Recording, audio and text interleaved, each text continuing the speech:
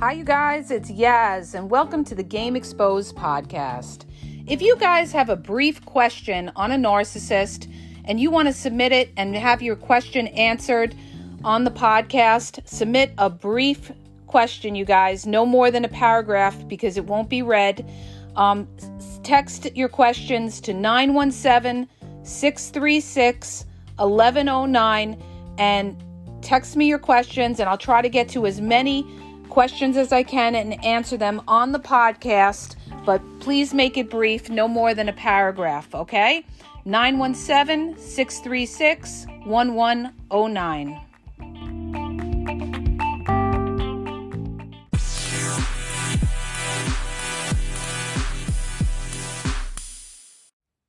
Hi, you guys. It's Yaz. Good morning. Today I want to talk about narcissistic fathers, okay?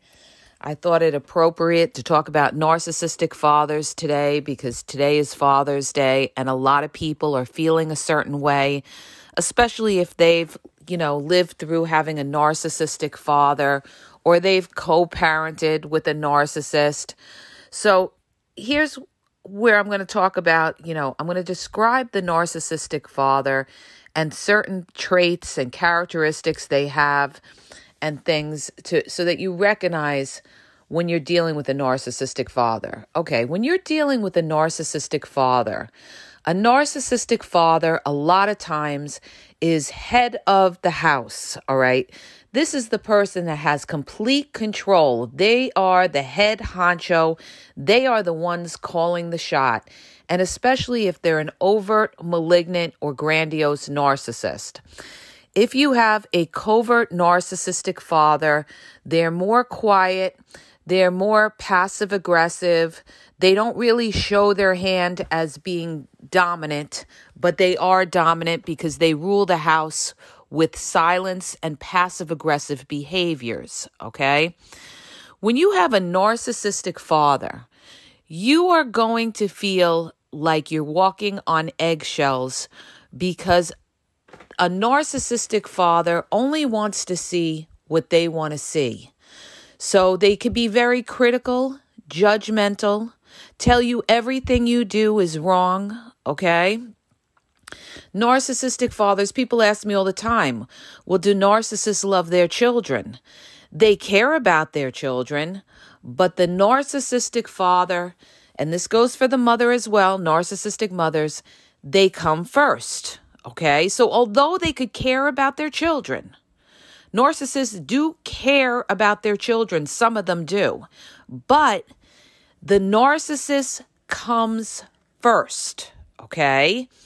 When you deal with a narcissistic father, there's two sets of rules their rules and your rules don't mean anything. Okay. So it's kind of like you're living in a house where, you know, you don't have say or you're put down and you're rejected unless you're the golden child that tells that narcissistic father everything they do is right. Okay. If you're somebody who goes against the narcissistic father, then you're going to be, you know, scapegoated. You're going to be alienated. You're going to be isolated okay? Nothing is ever good enough for the narcissistic father, okay? Now, I understand this, you guys, because I grew up with a malignant narcissistic father.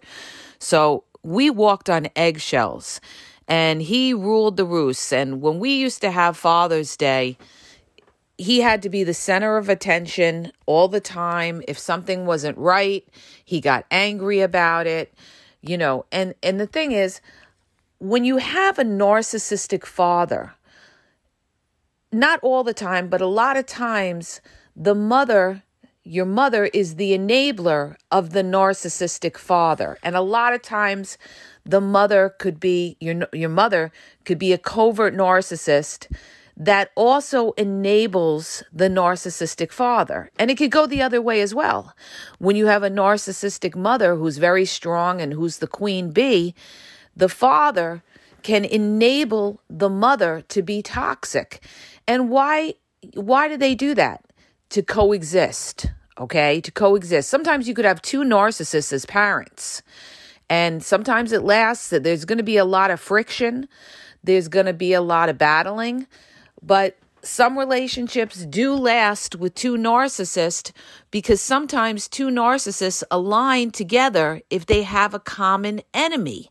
And the common enemy could be anybody. It could be one of their children, it could be somebody else, or they just coexist because they need each other for something. Maybe they need each other for financial reasons, or, you know, they just, they need to be, they need that validation from the other person. But when you have two narcissists, you guys, one narcissist is always going to have more control than the other narcissist. Okay. And the other narcissist is going to have to kind of, you know, change up a little bit in order to get along with the domineering narcissist. When you have a narcissistic father, okay, one of the things you have to understand is when you go against a narcissistic father, they could write you off and leave you for dead. Okay. And I remember putting a post up where I said, you know, a narcissist, they could leave you for dead if they get pissed at you or something like that, or you go against them. And I remember there was an influencer, a well known influencer, that put that post up and tried to refute that by saying, oh, well, narcissists, they'll never leave you for dead. They'll just keep coming back and coming back. And that's when I said, this particular influencer didn't know jack shit about narcissism when it came to families, okay? Because when it comes to families, and you're dealing with narcissists, okay, it's very different than a relationship with a narcissist, okay? When you have a relationship with a narcissist, yes, 99% of the time they keep coming back, they keep coming back, they keep coming back. But when it comes to family and narcissism, it's a whole other ball game, okay? That's where you really know you know, that's where you could really differentiate who knows about narcissism around the board and who doesn't. Because narcissism in family is a whole nother whole nother chess game, okay? See, narcissism in family, it's a different kind of dynamic because a lot of times narcissism in family there's there's going to be a, a power play usually if there's money involved if there's money involved, you could trust and believe there's a narcissist in that family that's vying for that money, all right? You know, that's usually your covert narcissist who's kiss assing to the person or parent that has the money, okay? And when that, if that, let's say your narcissistic father has money, all right? That means that the people that kiss up to that narcissistic father are going to be okay because they're kissing up, and the ones that aren't are going to be outcasted and sometimes left for dead. Okay? Sometimes left for dead. When you're dealing with a very narcissistic parent, okay, they could be so stringent that if you go against them, they will never talk to you again. Okay? Sometimes years down the line, you could go no contact with a narcissistic parent or narcissistic father, and they may try to have, they may try to hoover you if they're not doing well. Okay. But generally, it goes into, you know, where the, you're not talking. All right. If you don't follow the rules of the narcissistic parent, narcissistic father, you will be outcast you will be outcast, and everybody else will outcast you as well because they will gang up against you. And why do they do that? Because they have to appease the head narcissist, which could be the narcissistic father, or if it's the other case, the narcissistic mother. And these other flying monkeys, which could be your siblings or aunts, uncles, or other people in the family, will, you know, they'll show allegiance to the narcissist because they need that narcissist in the family, which is the narcissistic father or the narcissistic mother, if it's the other way, where the narcissistic mother has control. Okay? So it's like it's very, very hard for a child that's a truth teller to be in a narcissistic family because a narcissistic father wants to portray an image that they have the perfect family. A narcissistic father wants to portray that he's a great father. And a lot of times, a narcissistic father, and again, remember, this goes for the mother as well, could do this as well. A lot of times, the narcissistic father tries to buy love with money, okay? Or it tries to make themselves feel like a good parent because they may buy you something. Okay, they do this with their kids. They may do something financially for their kids. Let's say they don't see their kids in years, and then all of a sudden they send them a birthday gift. Okay, or they send them money on their birthday. This is so they could feel good about themselves and make them feel like they're a good parent when in fact they haven't been there as a parent. See, a narcissistic parent only wants to be there when it suits them or when it makes their image look good. Okay? A narcissistic parent doesn't want to do the hard work.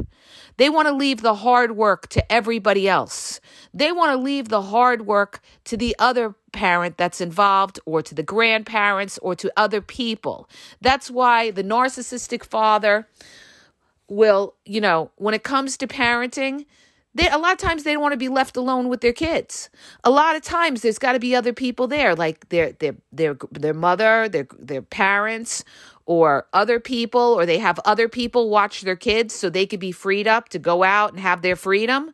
They don't want to do the hard work of parenting, dealing with children.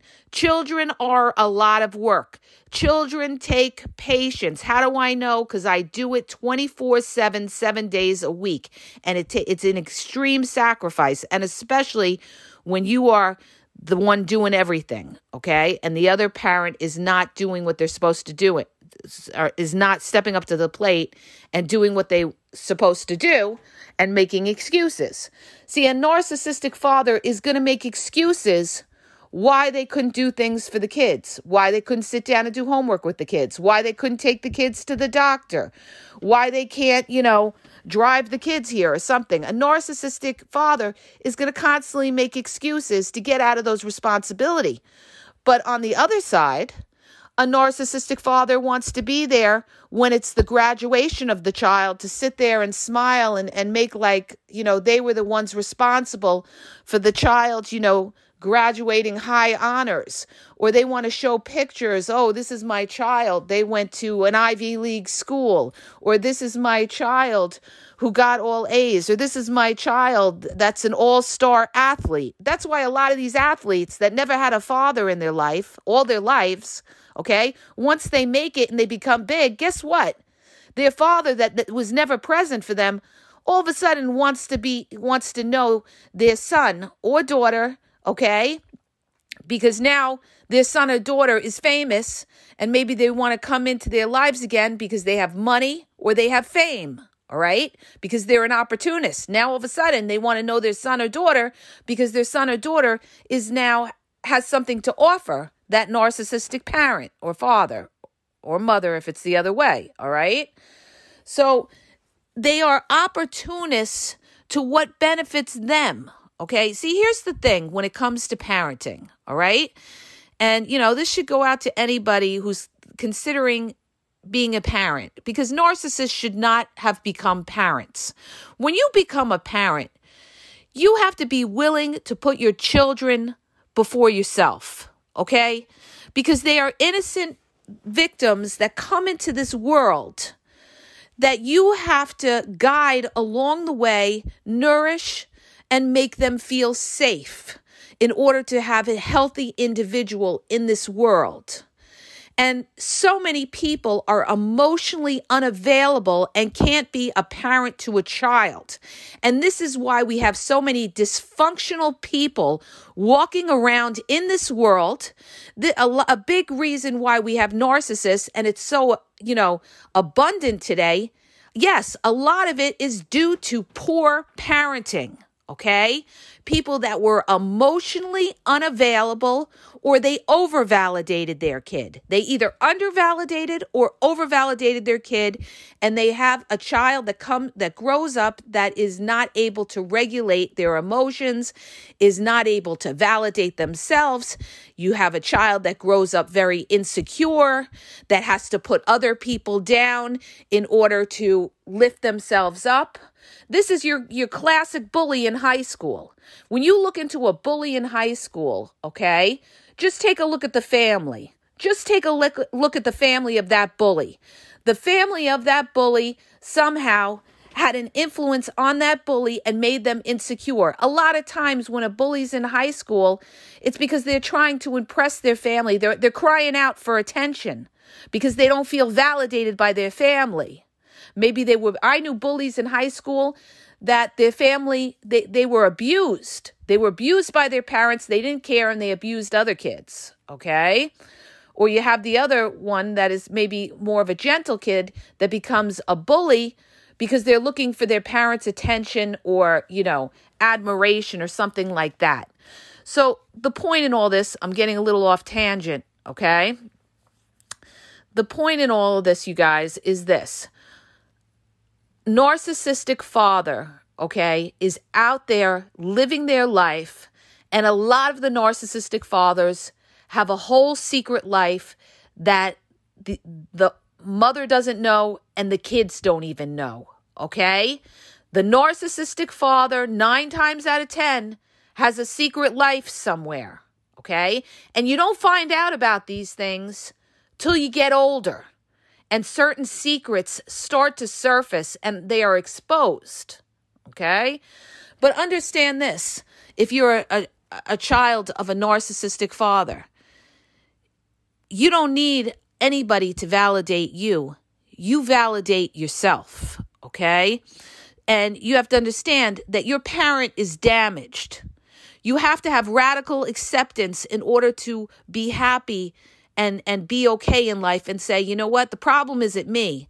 The problem is that I have a damaged parent that doesn't know how to parent, that is emotionally unavailable, that may be insecure and needs constant validation and attention.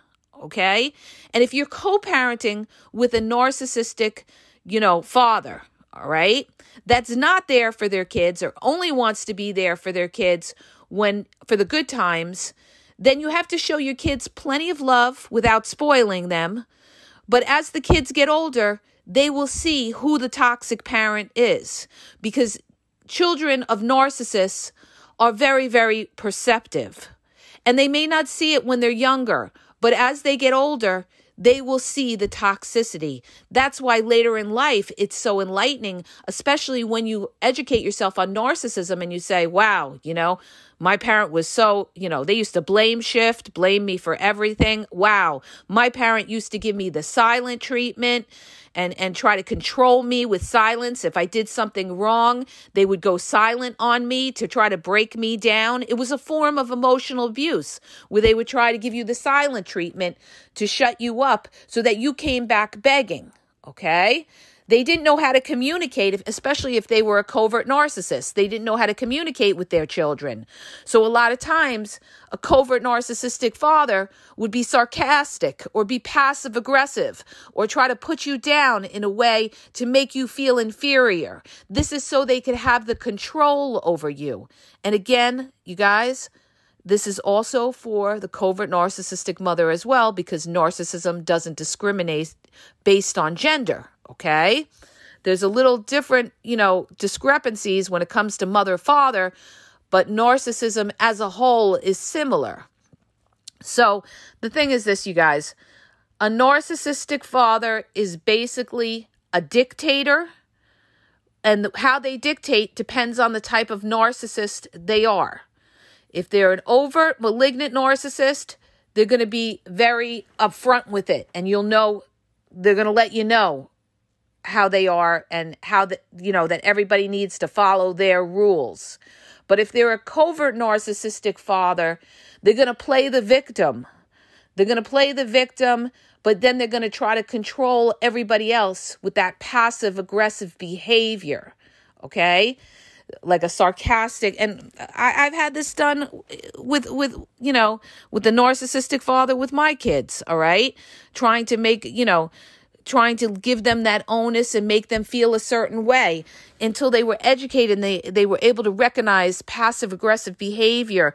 And they were educated in the sense that they realized that they were trying to be controlled all right? Try to be controlled by guilt tripping. See when you have a covert narcissistic father they're going to try to guilt trip you. This is what they try to do. They try to guilt trip you and make you feel like you know you you know they've done so much for you you don't appreciate anything so kids will constantly have those feelings of feeling guilty and trying to always please the covert narcissistic father. And the same goes for the covert narcissistic mother. Remember, it's across the board. So they will try to guilt trip their children. Oh, you never come by. Oh, I've done everything for you. Um, you don't appreciate anything. These are the things you're going to hear from the narciss- the covert narcissistic father. All right or you know you, you know they'll they'll nitpick about anything too when you have a narcissistic father they're a nitpicker they will nitpick about everything growing up we got you know if the refrigerator door wasn't shut the right way if the car wasn't in the driveway the right way if food wasn't cooked the right way if you rolled your eyes why are you rolling your eyes okay? You were always on the hot seat. But see again you have to look at the type of narcissistic parent you have. There's different, you know, subdivisions, like I said. Go study. And I've done videos on my YouTube at the Game Exposed podcast about this. The difference between an overt, covert, malignant, grandiose, and then you have a other slew of different types of narcissists like somatic and all the rest of them, all right? Cranial narcissists, everything, you guys. So, you guys, it's like this. When you have a narcissistic parent, nothing is enough for them. And you have to come into your own and have your own strength. And for me, the way that I did that was my, you know, my spirituality, becoming closer to God, because God always has your back when nobody else has your back. All right. That God, when you, when you're down, you become closer to God. When you become closer to God, you gain discernment. When you gain discernment, you are able to walk the right path because you walk in the truth. When you walk in the truth, there isn't anything a manipulative narcissist can do or say to you because you have your power, because nobody can refute the truth. So, the point I'm trying to make is whether it's a parent or it's somebody else or it's a partner or whether it's a boss or whether it's a friend, you walk in the truth, okay? And you stand firm in that, and nobody else can break you down. And a narcissist's goal is to break you down in order to feel superior. Yes, it's very true that hurt people will try to hurt other people in order to make themselves feel better and feel superior. But you know what? You don't have to deal with that. That's why you either go no contact or you gray rock this person. You have to know how to deal with different relationships in your life, okay? You have to know how to handle it. Not everybody is going to be your best buddy. Not every family is going to be, you know, the Leave It to Beaver family of love and, and happiness and everything. You have different dynamics of and different kinds of people in this world, and you have to know how to handle them. It's like I said to my daughter. She was talking about one of her friends, and she said something like her friend does this. I said, Well, that's fine. I said, She's your friend, but just know what you can do with her and what you can't. You certain things you can't discuss with her. She's not that type of a friend. But you could still enjoy her company but you just know that you cannot open up to this person. You cannot trust this person. You have to be careful, all right? But you could still enjoy her for, you know, just on the surface getting togethers. See, that's how you you have to recognize people and recognize how to deal with people.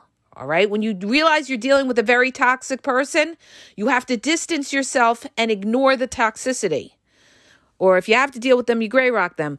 But when you let me get back on on point. When you deal with a narcissistic father, you guys, or even a narcissistic parent, you a lot of people go no contact. And you know they're living their lives. A lot of them feel 100% better because they're not dealing with that toxic parent. But when you have a narcissistic parent it is probably a hundred times more painful than having a narcissistic partner why is that because the parent is the one that you're supposed to feel like that's the person that you run to when you have a problem. See, you can always replace a narcissistic partner. Okay, you could have many partners in your life. You could even be married and divorced and get remarried. But a narcissistic parent is one of the most painful things that you will ever have to deal with, okay? Because you will feel alone. You won't ever feel like this person understands you. There will always be a disconnect when you have a narcissistic fa- pa- parent, okay, whether it's father or mother, there will be a disconnect because they won't let you get close to them. It's it's their way of be, feeling superior. They will never ever be, show or become too vulnerable with you and connect with you in that way because they don't want to give you that kind of power to make themselves vulnerable in your presence. They always want to have that, you know, a lot of narcissistic parents are old school too. You know, the old sc- school theory is, you know, I'm I'm the parent. I'm the parent, you know. You have to listen to me. I don't have to listen to your boundaries or anything. And some of them will let, even laugh if you talk about boundaries like boundaries. What are you talking about boundaries? I'm the fucking parent you you you know i brought you in this world and i'll take you out okay? This is how a lot of them are. That's the old school you guys old school. They're the boss. It's their rules and you better follow them. And if you don't follow them you are done. You are finished. They won't deal with you and a lot of them won't talk to you for months, years, or whatever. Okay. Some of them can leave you for dead. So that other influencer didn't know what the fuck he was talking about because obviously he didn't deal with this. He was talking about relationships. All right. But I'm telling you from prior experience, I could talk on all this because I've experienced it. So understand this when you have a narcissistic father, they're going to be judgmental, critical, put you down and all of that. But you know what? You have to step back from it and you have to say to yourself, well, you know what? The problem isn't me. The problem is I have a toxic parent. So now I have to step back from that. And if I want to deal with them, I have to deal with them with kit gloves. That means gray rocking. That means not getting too close with them. That means touch base, happy birthday, Merry Christmas, happy Hanukkah, and and and you know, happy Kwanzaa, whatever, and you know, see it in 365 days to say happy, you know, happy holidays again, okay? That if you even want to deal with that. But understand this, the problem isn't you. The problem is that your parent feels this need to be superior because they're inferior and probably because your narcissistic parent had narcissistic parents as well. Okay, this is the generational curse. Maybe their parents didn't validate them, so now they're not validating you. Okay. So look beyond and you'll see a pattern there with your parent and the parents above them. You know, they're your grandparents and grandparents of that. And you'll see, you know what? This shit is running down from generation to generation because people either become their parents or they say i don't want to be like that, these toxic people. I don't want to be like these toxic people. They're able to be super aware. Also when people have narcissistic parents okay a lot of times they're very the children can be very empathic all right? They could be an empath or they could be a truth teller. And you know they're always trying to please people. So when you're a child of a narcissist, you're always trying to please people or you're always apologizing all the time. Oh, I'm sorry I did this. Oh, I'm sorry I did that. Oh, I'm sorry I did this. You know, or they're trying to please people. That's because they've been beaten down by the narcissistic parent. But the problem with a child of a narcissistic parent that's an empath, they will become a target for a narcissist in a narcissistic relationship. Because if they come in contact with a narcissist that shows them love and attention, they will fall prey to that person and feel that that person will be their security and their safety net. And that's what's dangerous about it because a, a child of a narcissistic parent that's empathic is going to look for safety and security. Okay. How do I know? Because I've been there. Okay. They're going to look for somebody's safety and security. And a lot of times, these narcissists out there pretend that they're your safety net and your security net when in fact they are toxic as hell. They come in as your hero and they will leave as your nightmare because they're portraying the exact opposite of who they are. Okay. So I'm off tangent. I just want to get into these narcissistic fathers and understand this. Let me get into the co parenting real quick. If you're co parenting with a narcissistic father, you guys, Understand this. They are going to be absent for your, for the child when you need them. A lot of them disappear. A lot of them ghost. A lot of them, you know, don't come and get the kids. A lot of them want to leave the responsibility on you. You have to do the best you can. But as the kids get older, trust me when I tell you, they will see what parent was there for them and what parent wasn't. Okay? So, you guys, I'm running out of breath. I just want to wish all the fathers out there that are really there for their kids a happy, happy Father's Day. God bless all the fathers that are out there doing the hard work for their kids and are there for their kids and not just there when they feel like being there, like a narcissistic father would. Okay. A narcissistic father just wants to be there for the good times. And when the kids make them look good, that they, can post a picture on Facebook and, and tell everybody, oh, I'm parent of the year. A narcissistic father wants to be parent of the year, or they'll post pictures of their kids. Meanwhile, they haven't talked to their kids in a long time because they were never there for their kids all right? They they only want to, you know, they're like the Toys R Us dad. They want to go and, and buy them a little gift. But when the kid really needs them for the hard things, like sitting down and doing homework or being at a kid's sports practice at five o'clock in the morning, they don't want to do that shit, okay? They just want to do what's fun and makes them look good.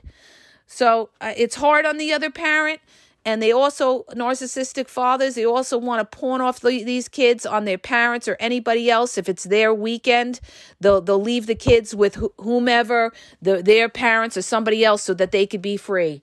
They don't want the responsibility. Do they care about their kids? Yeah they could care about their kids but remember this they care about themselves first okay? They care about themselves first. And they will hurt their kids by trying to hurt the other parent if they're going through a divorce.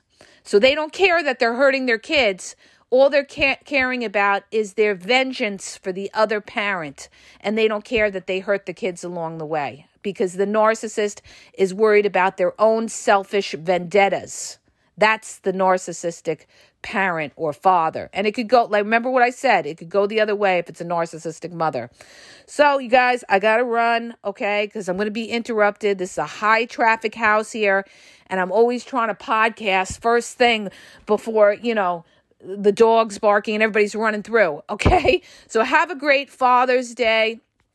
And, you know, like I said, have a great and I want to wish all the, the fathers a very, very happy Father's Day. The fathers who are there for them, for those kids, and for the mothers that have to be a father and a mother to their kids you are a warrior. And it goes the same way on Mother's Day for the fathers that are there for their kids when the mother is not around and you're dealing with a narcissistic mother who's also toxic and not there for their kids. It goes both ways.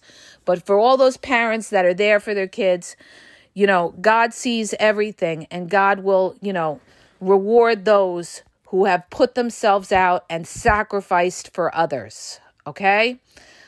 I hope that helps you. Don't forget, subscribe to my YouTube, the Game Exposed podcast on YouTube, because I'm really laying it down and putting out a lot of videos, you guys, about a lot with the covert narcissist. And if you want to follow my Instagram, it's the Game EXP123. Facebook is the Game EXP123. Um, beware of any fake pages you guys. That's not me. Don't follow anybody unless you, you check my links that i have here because there's a lot of people that try to dupe and fake pages all right? So you may be following somebody else and it's not me. So always check and see all right? It's the game exp123 on instagram and on facebook. And have a great day you guys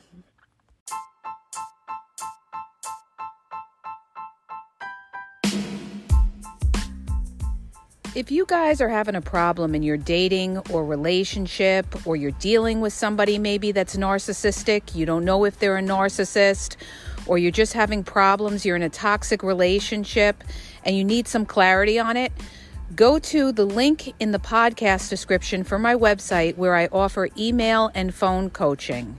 If you have a quick question, just a quick question, and you want to get a video sent back to you answering your question, there's also a link there for Vizio, where I will send you a personalized video answering your question.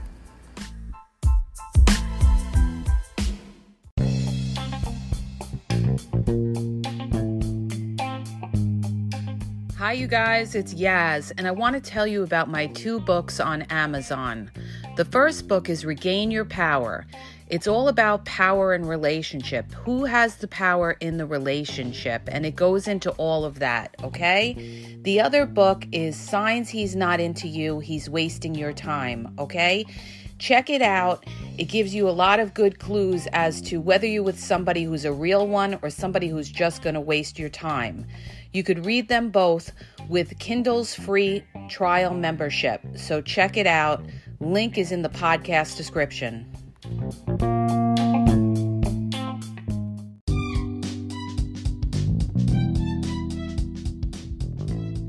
you guys. I just want to let you know that the Game Exposed now has their merchandise available.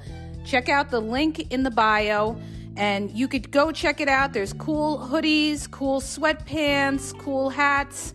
So go to the bio for the link. And also, don't forget to follow me on Facebook at the game exp123 and also on Instagram the game exp123 okay? And have a great day